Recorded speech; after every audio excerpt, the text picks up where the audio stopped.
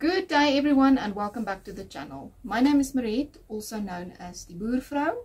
And in this little video, I decided to do a knit and chat video today. And we are going to talk a little bit about self-care. So um, before we start, um, I want to show you what I'm knitting on. Just want to get to the end of the row here.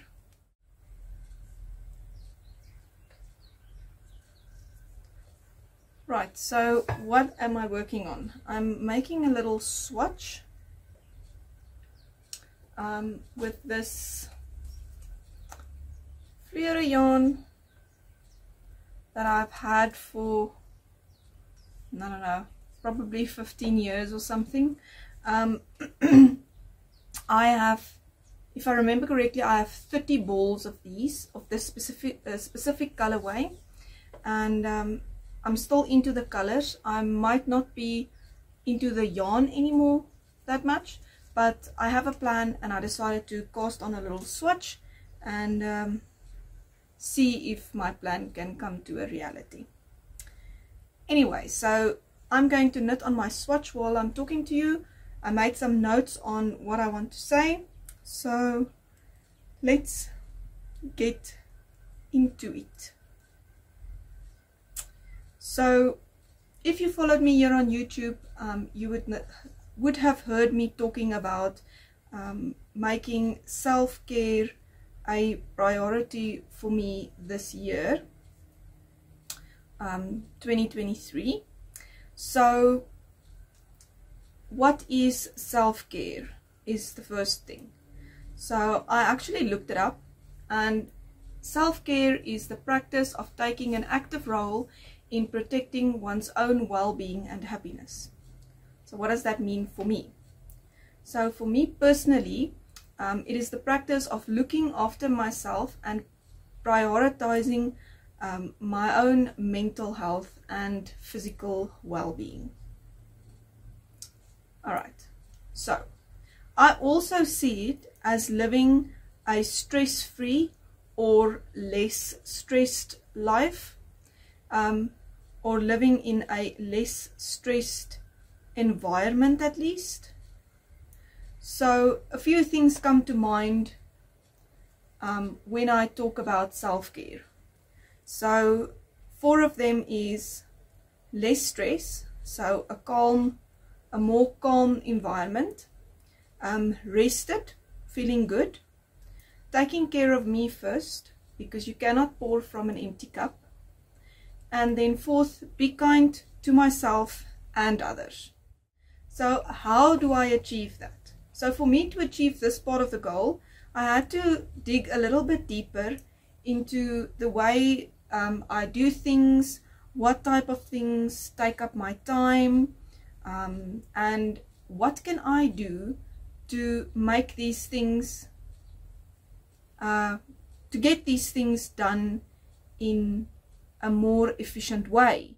Alright, so there is quite a few things that I can think of that takes a lot of my time, but let's just take an example, one simple example. So for instance, making the podcast. So making a podcast takes a lot of time. Um, it does not just happen. So there is quite a few things in the process of making a podcast that takes up a lot of time. So I was looking at the podcasts. Obviously, I love doing the podcasts. Um, so I am definitely doing that. And then I thought, okay, so what is all of the processes that goes into making a podcast for me personally? And what of those processes can I maybe streamline or um, make do something else, follow another um, set of processes that can make this um, task go more efficiently. So one thing that was a big thing for me is especially making a thumbnail. So making a thumbnail, I'm not going to um, go into every single little step, but it took me about eight steps of which um, three of them was importing them into another editing software. So this took quite a while and I decided I can definitely streamline this process. So I went out and I bought myself a letterboard and um, now my thumbnail process is only four things that I need to do and for not any one of those four steps is opening another program so um, I am still in the process of deciding what type of thumbnail I like best but now I can just put my projects down put the letterboard down make sure it's on the right number take the picture make a screenshot because YouTube does not allow um, thumbnail pictures to be more than 2 megabytes. So I take a screenshot of the picture that I took and I make sure that I cropped out the battery and all of those things on the screen and I'm ready to go. I don't have to open editing programs, I don't have to resize pictures, I don't have to crop anything, I don't have to edit some words on. It is just going much more easy.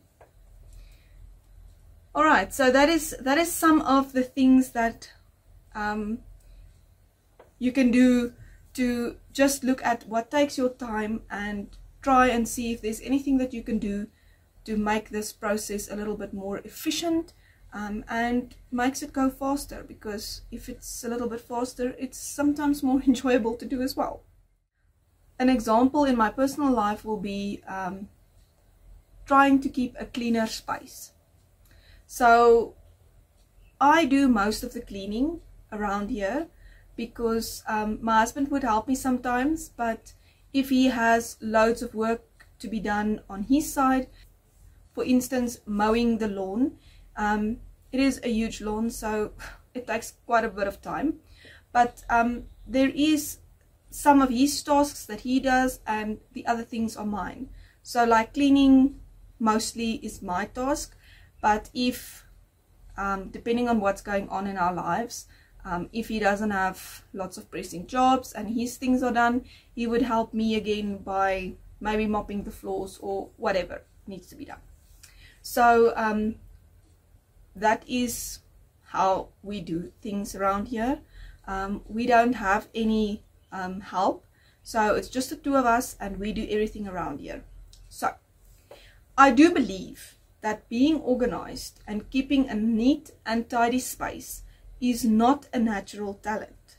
It is a learned skill. Like some people just understand knitting or crochet easier than others. It's, you know what I mean? Anyway, so I used to be one of those people who would take the clean milk jug out of the dishwasher and put it on the counter because I will be needing that this afternoon. So why put it in the cupboard if I can just leave it on the counter and I can use it later? So at the end of last year, I realized that I will have to stop this bad habit of mine of not putting things away because then I just can just as well never put anything away because I'm going to need that later. And that is not healthy for me, especially to be in a very crowded space. I like things to be a little bit neater and a little bit more organized. So I had to adapt in this matter. So I started to clean up after myself in such a way that I can walk away from an almost clean space if I cannot, for whatever reason, continue with the task I was busy with. So, as an example of this, I'm going to mix my business and personal a little bit because I am running my business out of my personal space. So for example, um, I would have an order and I need to bake three different types of cookies today. So um, I would start by getting the stuff ready. Um, with that I mean like taking out the flour, make sure what measuring cups I need, etc. etc. And then I would mix up one of the three um, different types of dough that I need for the baking process and then before I start to put the actual cookies on a baking sheet I would clean up first. So while I'm busy making the dough I would clean up. I would make sure that my dishwasher is empty and um, things that I know I'm gonna need for the second batch I will make sure that there's water in the sink. I will hand wash it, put it in the drying rack, so that the moment I'm finished with this batch, I can immediately start the next batch, so that everything is clean. So I would clean the mixer, I would put it on another cupboard, um, and I will start making the cookies.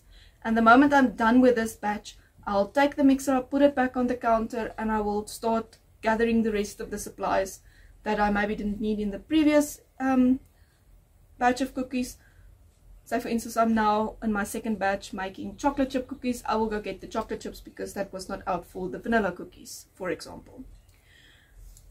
And I will keep repeating this process of cleaning up all the time while I'm making these cookies because it has happened before that I was busy with a batch of cookies. I was actually busy baking them and I looked up and I saw that we had a veld fire. I saw lots of smoke and I had to drop everything immediately, go out, phone my husband, get people to come help, fight the fire and all of those things. So it is a crisis. So um, I have to be always prepared to drop whatever I'm doing because there can be a crisis. So say for instance in somebody else's life, it can be a child that got hurt that needs to go taken, uh, be taken to a doctor. Um, or to hospital or whatever the reason may be. Um, I try to clean up in such a way that if there's maybe a veld fire or whatever, I am going to be exhausted after that because I actually help and actually take something and fight the fire with everybody else. So it's not something that I just organize and I leave. So I'm going to be exhausted when I get back. And then I would like to not have a zinc full of dirty dishes that I still need to clean. So I can just come back, bake the last few pans that's already been assembled, take the mixer, put it back in the cupboard where it is standing, cleaned already, and just put the flour away and I'm done. So that is, to me, that is a form of self-care because otherwise that things will just be still there tomorrow and everything will be dirty. All right so anyway that is my example for that. So um, these two types of things just makes a huge difference in my life and it beats me that no one ever taught us this. Well i wasn't taught this ever by anyone. My second point is rested and feeling good. Now i know everybody is in different situations. I'm just sharing what works for me. So I have a lot of responsibilities as everybody else. Um, I mean, I'm looking after my household, cooking, cleaning, doing repair work on clothing, um, doing paperwork for my own business, running my own business, doing paperwork for my husband's business, um, you know, doing some gardening and so forth. So, um, looking after animals, walk the dog, all of those types of things. So one of the things that we seem to forget is that our body can only do so much and we do need to rest. I mean, you will not let your phone go out of battery power and die before you actually charge it. You will always make sure that it's charged. And why do we not do this for our bodies as well? Um, so we really need to change the idea that resting is being lazy. We need to rest. We really, truly do need to rest. Um, so I'm also trying to get a good night's sleep. I don't always get this right, but I'm making it a priority to uh, prioritize rest. Um, if you, for instance, decide, let's just take an example, you usually go to bed at 12 o'clock at night and you decide you want to get at least one hour's more sleep per night, you want to go to bed at 11 o'clock. So I would decide to um, start getting ready for bed an hour to an hour and 15 minutes before I actually want to go to bed so that I can be prepared and rather sit a few minutes in bed um, before going to bed than running around like a mad person to try and get to bed and then you are so overstimulated that you cannot get to sleep. So, yeah, there is some things that can be done tomorrow. Even that project on your hook or needles, can be finished tomorrow. You need to rest. okay, so point three. Um, taking care of me first. You cannot pour from an empty cup. So, I've seen that prioritizing myself, things improved a lot um, around here. Um, how my mindset is and how I actually feel. Um, even how I react to certain situations. So, um, yeah, that, that makes quite a big difference. Being rested makes a huge difference, and uh, the world will not end if you take care about take care of yourself first. So, just a little example of this is when I went to work in an office, I would never ever take a lunch break, like ever. Uh, I mean, your contract says you're entitled to an hour or half an hour's lunch break. I never ever took a lunch break and went and sat in my car or went outside of the office and go sat somewhere to have my lunch. Um, I remember some days coming home with my lunchbox still full, that I didn't have a bite to eat. And I told myself that, oh, it was so busy at work, didn't even have time for my lunch. But that's actually a little bit of nonsense.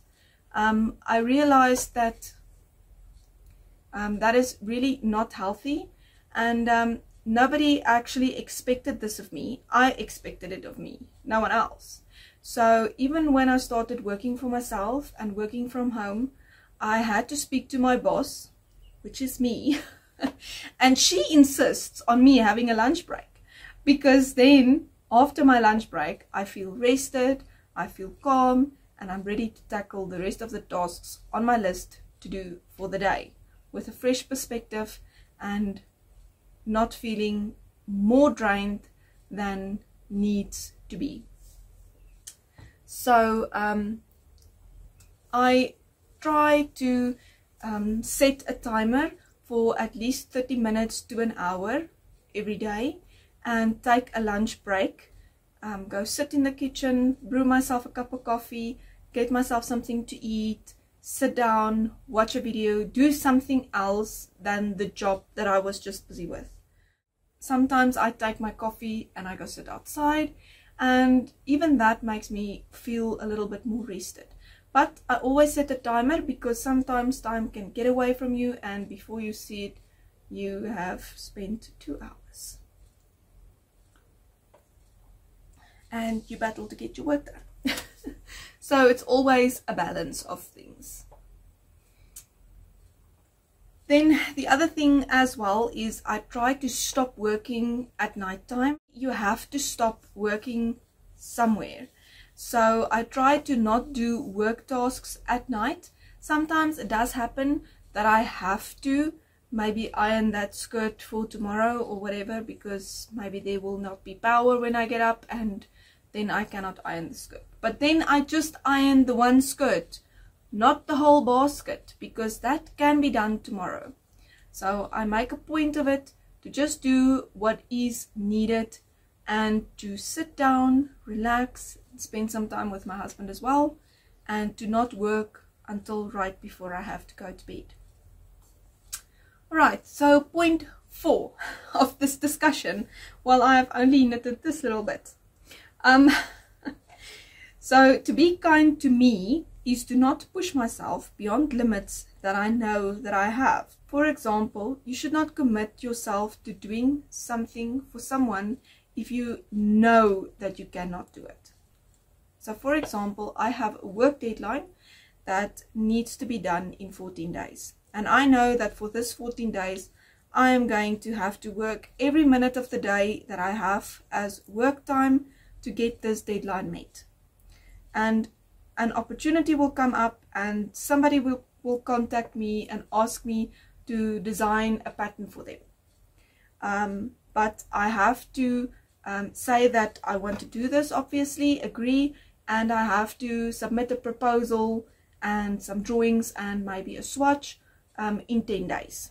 So for this example, if I know that I already have another deadline, I will definitely have to say no to this opportunity no matter how great it will be, because it is not being kind to myself to know that I cannot do this and force myself to cope with maybe just three hours of sleep every night for the next five days. And I mean, I need rest. I need to get other things done as well. Um, there needs to be some cleaning, cooking, clean dishes, clean clothes. I need to sleep. I cannot work all day, every day. So in this instance, it will be a very great opportunity. But if you cannot do it, it's being kind to yourself to rather say no. Because if you don't, and you don't meet this deadline, you are not only being unkind to yourself, but also to the other party in this um, example because they could have went on to the next person on the list and asked them for some help and maybe got all of the things done in time. So yes, it is not easy. I am trying very hard and um, yeah, I had this thing as well in the past where I um, felt bad in saying no in making a garment for someone. And it actually took me a year to complete the garment. And in the beginning it was fine. And after a while it it was not nice working on this thing. So rather say no and not be unkind to yourself and to others so yes the other thing that I also wanted to say is um, you don't always have to give a reason for your decision. You do have a right to say no without giving your reasons. I mean, sometimes your reason is a personal reason and it's not something that you would like to share with others. And that is okay too. So being kind to myself is not trying to do everything for everybody else and also not trying to do everything on my to-do list. It is okay if the 11th thing on my to-do list today did not get done, but the other 10 did. And I always try to do things um, in whatever is has got the highest priority so that if I need to, I can drop the list and continue with it tomorrow and the world will not end. The sun will still come up tomorrow morning. Alright, I think that is everything for today's video. Um, I have finished a few rows on my little swatch. And uh, yeah, I hope you will see this in some future videos. I think that is everything for today's video. Thank you so much for watching and feel free to drop some self-care ideas in the comments down below. Um, if you like this video, please give it a thumbs up and subscribe to the channel if you would like to see more of my content. And I will see you in the next one. Until next time, happy crafting. Bye.